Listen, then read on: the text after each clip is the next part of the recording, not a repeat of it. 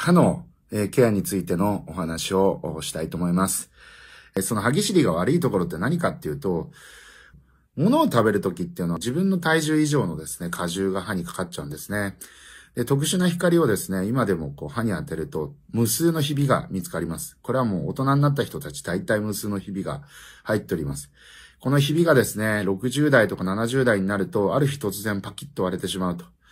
えー、これも割れてしまうとですね、インプラントにするかブリッジにするか入れ歯にするかしかないので、QOL が著しく下がると思われます。えー、なのでですね、この歯の割れ対策っていうのは非常に大事ですと。で、その前の段階でやっぱ30代、40代、えー、で問題になってくるのが歯周病。えー、歯周病もですね、なんか歯磨きとフロスと、え、歯間ブラシとマウスウォッシュで、え、予防できるなんて思ってる人いますけど、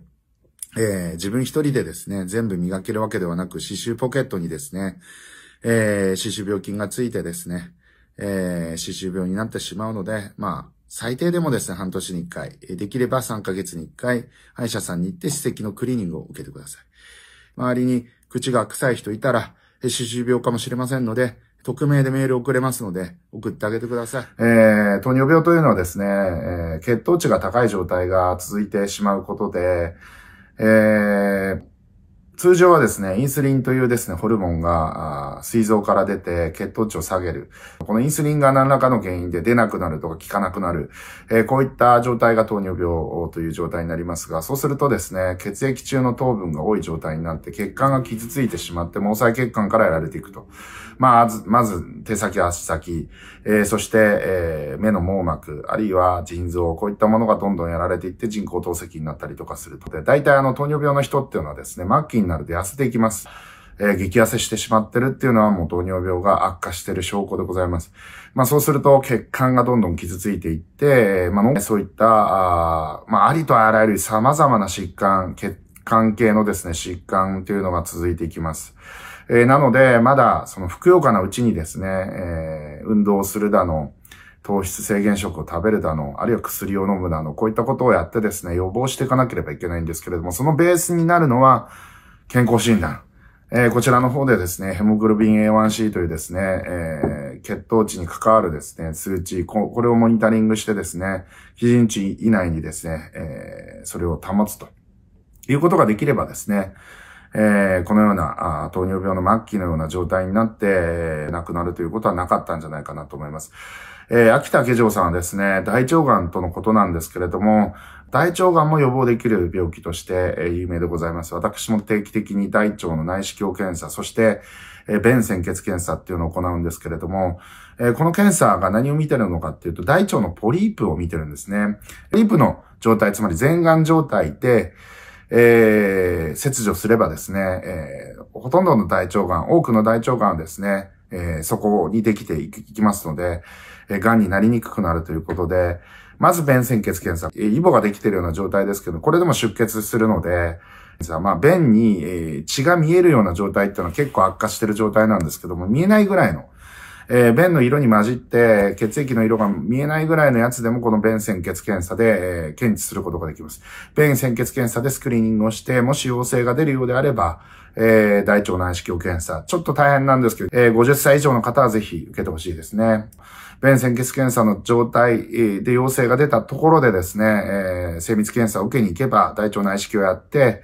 えー、ポリープを切除すればですね、大腸がんならなかった可能性は非常に高いと思うんですけれども、こういった予防できる病気というものをですね、えー、なくしていきたいなと、私は強く思ってます。ショートスリーパー世の中たくさんいるんですけど、あれは単に無理してるだけ。すごく不思議なのが、まあ不思議なこと、睡眠についてすごく不思議だと思うその習慣みたいなのがいっぱいあるんですね。うん、まずその、徹夜進行みたいな人。うん、あなんか昨日貫徹しましたよとか、徹夜して勉強しましたとか、そういうこと言われる方いらっしゃるじゃないですか。はい、で僕、あの、やっぱ睡眠しないとすごい調子が悪いし、記憶力が悪くなることをもう子供の頃にそういうふうに思ったんで、例えばほら、あの、試験前に勉強するので徹夜するじゃないですか。うん、中学校最初の頃それやったんですけど、いわゆる一夜漬けってやつですね。全然成績良くならないですよ。うんうん、でむしろ、普通に寝た方が成績いいんですよね。全然勉強しないで寝た方が成績がいいってことが分かって、あの、寝たら